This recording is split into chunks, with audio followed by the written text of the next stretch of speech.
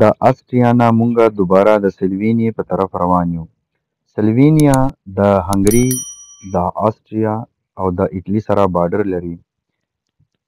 سلوینیا کې یو ډیر مشهور جیل دی، لیک بلیډ جیل. دا جیل د غرونو په منځ کې دی او په دې جیل کې یو وړه غونتې جزیره ده او په دغه جزیره کې ډیر مشهور چرچ هم دی چې د ټول یورپ نه ورته خلک د چکر دپاره راځي. په دې جهیل کې خلک لامبي هم ډېرې ښکلې اوبه دي دا جهیل د هوایي اډې نه پنځه دېرش کیلومتره د د دارالخلافې نه څلور دېرش کیلومتره او د ټرین سټېشن نه څلور کیلومتره لرې دی د دې ښسته جزیرو د کتو دپاره به د کشتۍ کې سفر کوې دا جزیره ډیره زیاته ښایسته ده او په لاره هم ډیر ښکلي ځایونه. څه کې والله ډیو راغلی وګوره هغه نه خلا پاکستان دی ګوره ها شپې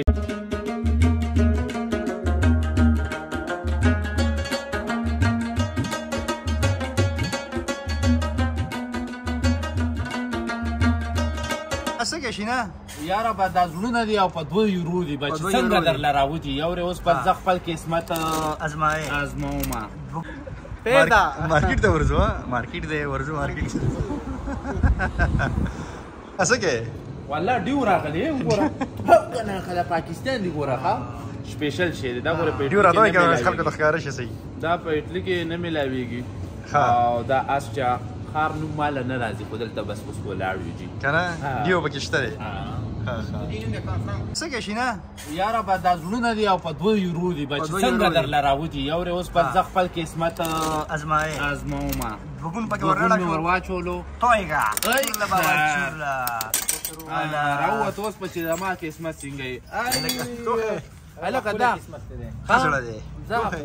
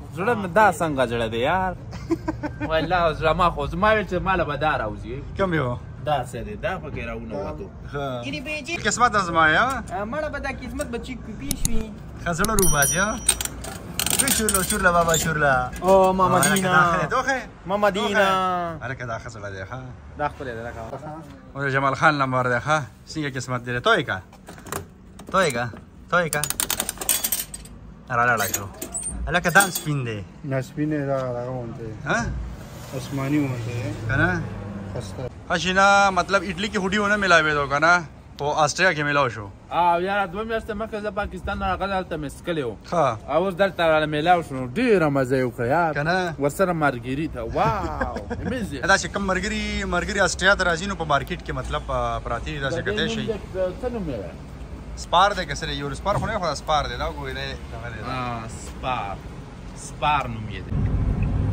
السلام علیکم دوستانو موږ اسټریا کې یو اسټریا نه اوس دوباره ځو سلوینیا ته سلوینیا کې دلته اسټریا او د اسټریا بارډر سره نږدې علاقې دي ډېرې ښکلې دي ملګري وایي چې هلته ځو نو اوس به موږ ځو سلوانیا ته دوباره انټر کېږو سلوانیا ته همدوم سره اوسئ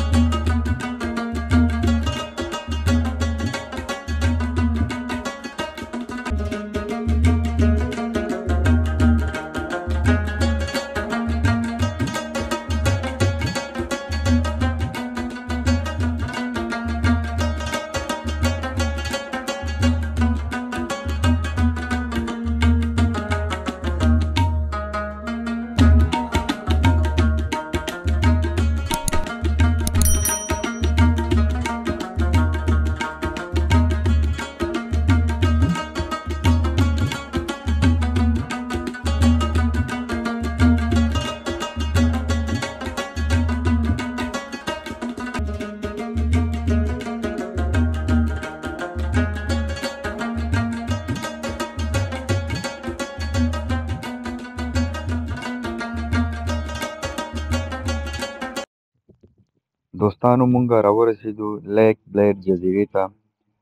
دا ټوله نقشه دی ورکړې ده تاسو کتای شئ په دې بورډ باندې د دې جزیرې د دې جیل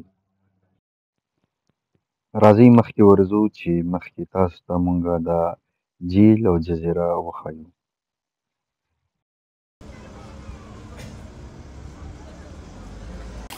نسکلې کېږي نسکلې کېږي ها تیزې اوبه ډېرې د اوبو انتظام یې دلته هم کړی دی او ښه ټنډه یخ اوبه دي د غر اوبه دي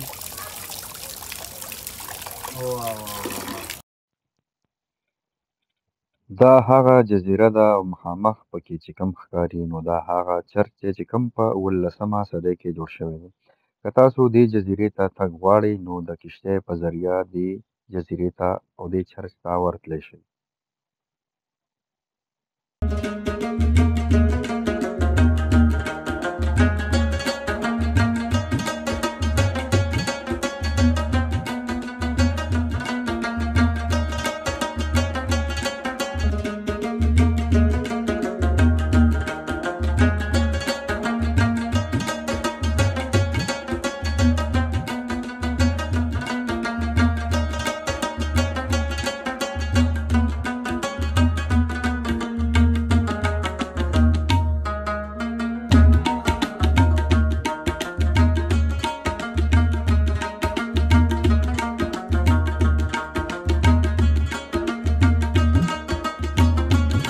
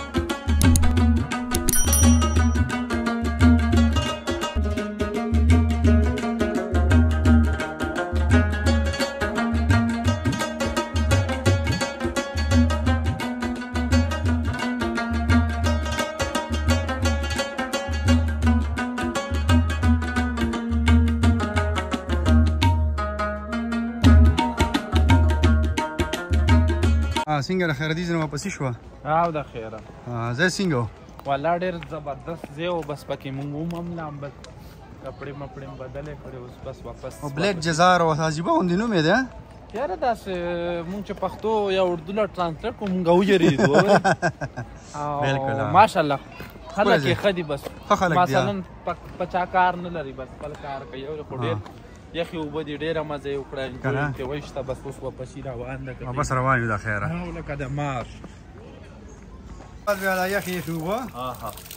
مزه کوي ډېره دا به داسې ووخې او کلیوال سټایل ها واه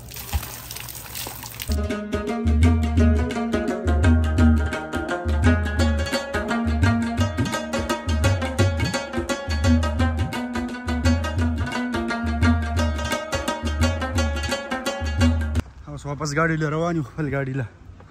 او را روانېږو بل خوا ګورو چې که بل داسې ښکلی ځای وي تاسو ته به یې ښیو زره موږ سلوانې کې یو اسټریا ته تللي یو شپه ملته وکړه هغه تم چکر ووالو بیا دا ځای راته نږدې پرېوتو نو دا ډېر ښکلی ځای دلته راغلو او اوس به مخکې ځو ګورو چې کوم طرف ته ایټلي طرف ته ځو آسټریا ته واپس ځو او که مطلب دلته سلوانیا کې